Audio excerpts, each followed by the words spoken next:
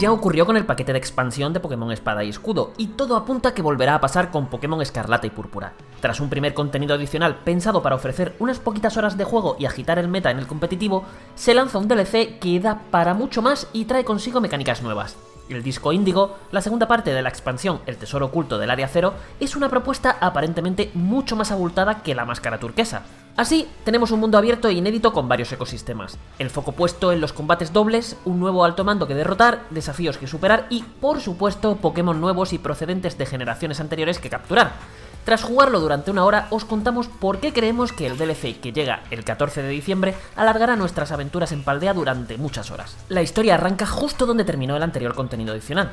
De hecho, el DLC no se puede comprar por separado. Así, en la trama volverán a tener importancia dos personajes que conocimos en Noroteo, Corin y Cass, quienes se convertirán en nuestros compañeros de clase. En el disco Índigo somos estudiantes de intercambio de la Academia Arándano, un centro futurista donde la vida estudiantil es diferente. Ahí avanzaremos en el misterio del decimonoveno teratipo, descubriremos al Pokémon legendario Terapagos, averiguaremos cómo capturar a los nuevos Pokémon Paradoja Ferrotesta y Electrofuria, y, por supuesto, por fin arrojaremos luz sobre ese tesoro oculto del Área Cero en una historieta que estará repleta de huevos de Pascua para los fans de la mitología de la saga. Pero lo más llamativo de la Academia Arándano es, sin duda, el Se trata de un mundo abierto subacuático que está separado en cuatro áreas, polar, sabana, costa y cañón montañoso. Es un entorno bastante grande, mucho más que la comarca de Noroteo, y diseñado de manera que despierta la curiosidad nos ha dejado con ganas de explorar más, de subir a más picos, de descubrir más cuevas repletas de sorpresas, de enfrentarnos a más entrenadores y de fijarnos más detenidamente en sus entornos repletos de Pokémon.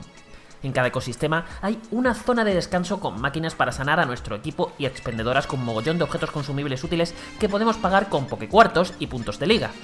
Pero, sobre todo, en cada uno de estos entornos hay Pokémon procedentes de anteriores generaciones. Hemos visto varios que tienen el potencial de agitar el meta competitivo, predominan especialmente las criaturas de canto y también las formas regionales de Alola. Tan solo teniendo en cuenta estas últimas criaturas, ya hay varias importantes en la composición de equipos, pero además en el Terrarium se podrán capturar todos los Pokémon iniciales de las generaciones anteriores, algo fantástico tanto para los aficionados que solo quieren completar la Pokédex, como para los que se toman la crianza muy en serio. Si encima sus teratipos acompañan, puede haber combinaciones demoledoras. Durante nuestra hora en el Terrarium, además de explorar y capturar Pokémon, también combatimos y mucho. Tras asistir a una clase práctica donde nos emplazaron a capturar una forma regional de Alola, nos enfrentamos a Corin. Como el resto de peleas contra otros entrenadores que encontramos, se trata de un combate doble que nos obligó a pensar muy bien cada uno de nuestros movimientos. La dificultad no llega a los niveles de ciertos combates de, por ejemplo, Pokémon Perla Diamante, pero parece que quienes busquen un reto aquí lo encontrarán.